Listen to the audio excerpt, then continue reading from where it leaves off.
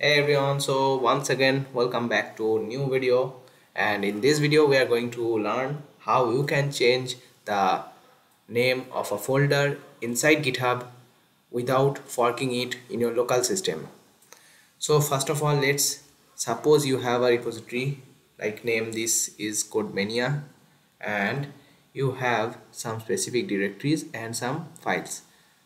For files like this generate_otp.py you can easily rename this file by clicking on this pencil button.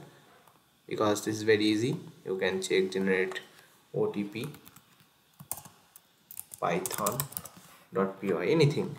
Just name like this. It's very easy but what to do if you want to change the folder name?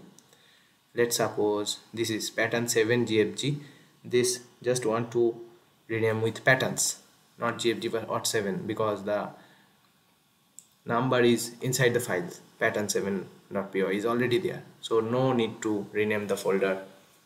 No need to name the folder like this pattern7 so let's rename it but no there is no button or options available for you. So what to do?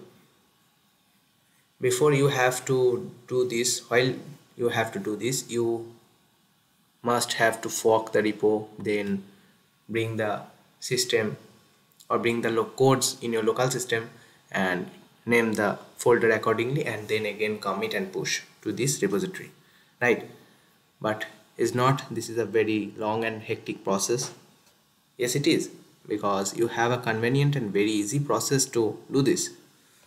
For this you just need to back to your main repository or homepage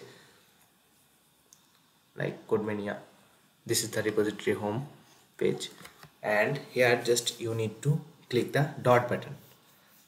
The left two button before the right shift button right? So just press the dot.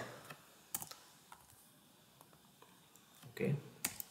And while you press the dot it automatically redirects you to the web editor of this CodeMania if you are not familiar with the web editor previously it's just a system that provides you the same as where you bring the code in your local system. The same thing to edit the files to commit merge everything you can do here. So just you need to do the dot button pressing the dot button. And now just simply rename this folder rename and rename it with patterns and enter. Right. And now just simply commit and push. It already in active region. Now stage it. Everything stage it. And now rename the pattern folder. And simply commit and push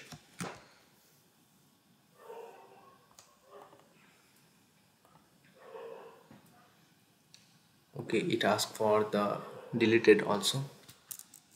Deleted the old one.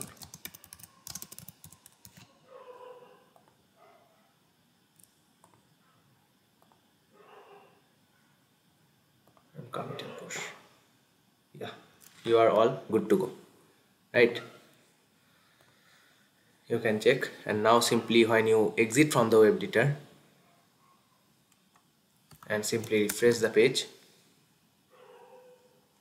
you can check. The folder is successfully renamed with your desired name and you can check the changes. So hope this video is very tricky and helpful for you. If you like it make sure you subscribe and also share it with your friends developers. And yeah that's all for today. Thanks for watching